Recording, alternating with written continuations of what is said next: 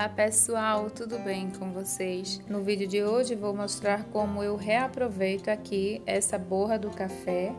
É, está até aqui ainda no filtro, né? No suporte.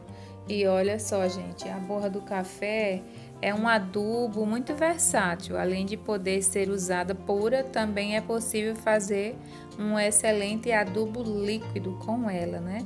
Mas vou mostrar dessa forma aqui, pois é a que eu no momento estou utilizando aqui nas minhas plantas.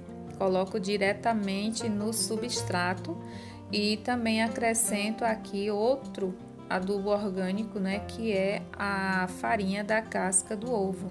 Aqui no canal eu já tenho vídeo mostrando como eu faço essa farinha, vou deixar aqui o link na descrição desse vídeo.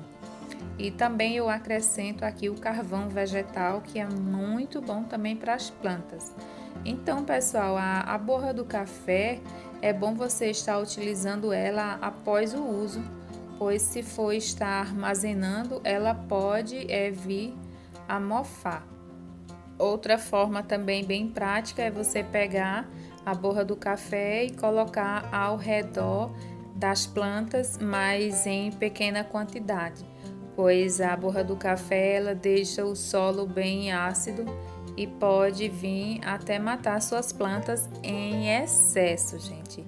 Mas em pouca quantidade não. Você pode fazer tranquilamente, pois a borra do café ela é rica em nitrogênio e vai ajudar aí as suas plantas a crescerem mais rápido, a se desenvolver melhor, né?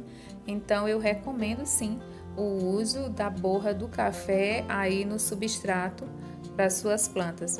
Então, pessoal, vou misturar aqui esse esse carvão vegetal. A gente também encontra nos gardens, né? Lá mesmo onde a gente compra as nossas plantas, vocês vão encontrar ele já pronto.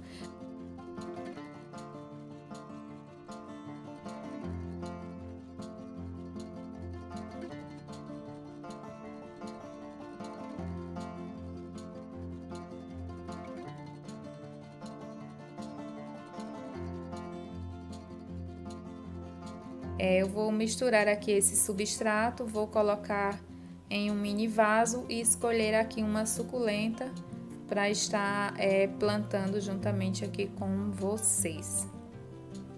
Coloquei aqui nesse mini vasinho, pessoal, e escolhi aqui a suculenta Francesco Baldi. Então, pessoal, é dessa forma que eu utilizo aqui é, a borra do café no substrato é um super adubo, recomendo aí para você.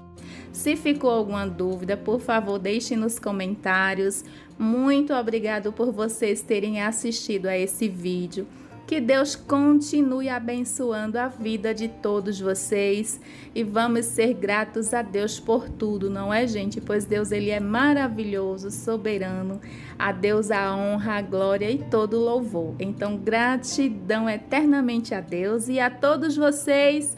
Fiquem todos com Deus e até o próximo vídeo. Tchau, tchau.